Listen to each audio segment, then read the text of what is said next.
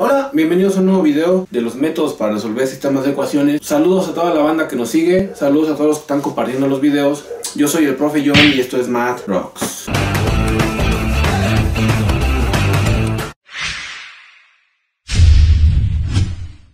Seguir ahora con los métodos algebraicos para resolver sistemas de ecuaciones. Ya vimos en videos anteriores el método gráfico, que es un método meramente de estar haciendo dibujitos de las rectas. En esta parte ya vamos a ocupar un método, métodos que sí son exactos, es decir, que en ese no nos andamos con mamadas, a huevo que nos debe de salir y nos da una solución exacta. Recuerdan que estamos trabajando sistemas compatibles con soluciones únicas y no estamos trabajando todavía lo que son sistemas indeterminados y cosas así medio raras. Bueno, vamos a ver el método de igualación. Voy a resolver este sistema de ecuaciones que está acá. En matemáticas ocurre algo muy curioso. Ocurre algo curioso en el sentido de que los métodos que llevan cierto nombre son obvios. El método de igualación consiste en igualar. No hay de otra. El método de igualación va a ser, primero voy a elegir una variable, la que ustedes quieran. Puede ser X, Y, A, B, C, D, lo que ustedes quieran. Voy a elegir una variable de ahí. En este caso voy a elegir Y. Y la voy a despejar. De la primera ecuación tendría que y es igual a 14 menos 8x sobre 3.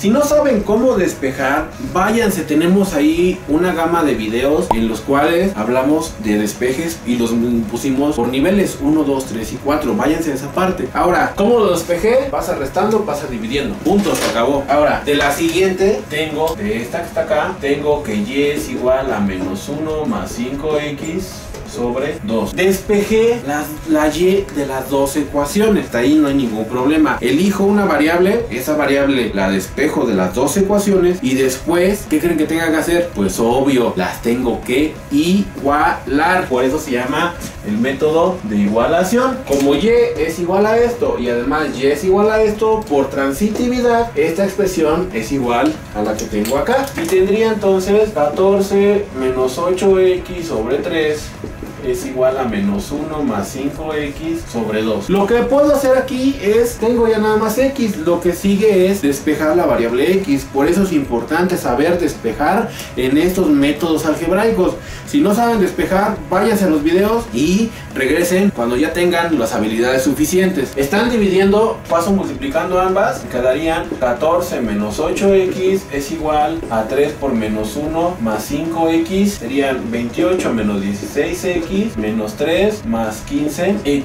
¿Cómo se hacen los despejes? Mandamos la variable para el lado izquierdo y todo lo que me sobra lo mandamos al lado derecho. Serían menos 16x menos 15x es igual a menos 3 menos 28. Menos 16 menos 15 son menos 31x es igual a menos 31. X es igual a menos 31 entre menos 31. En este ejercicio son de soluciones enteras, nos pueden salir fracciones, o sea, huevo que nos pueden salir fracciones, no hay ningún problema. Si, llegan a salir fracciones, ocupamos super mínimo como un múltiplo y la ecuación nos la abrochamos. Me quedaría entonces que X es igual a 1. Ya que tengo una variable resuelta, lo que hago es sustituir en alguna de las dos ecuaciones. Ojo, Existen profesores que le hacen mucho la mamá y dicen, no, ahora tienes que este, elegir X, despejarla e igualarla y hacer lo mismo que hice acá. Es el mismo procedimiento, no hay ningún problema, pero yo sugiero que cuando ya tenemos uno, lo único que hacemos es sustituir y obtenemos el siguiente valor. Si se los piden así, pues habría que repetir el procedimiento. Despejaríamos X en vez de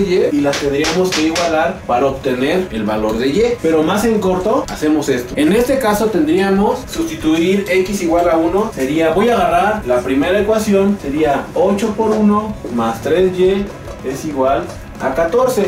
8 por 1 serían 8 más 3y igual a 14. 3y es igual a 14 menos 8. 3y es igual a 6. y es igual a 6 entre 3 y y es igual con 2.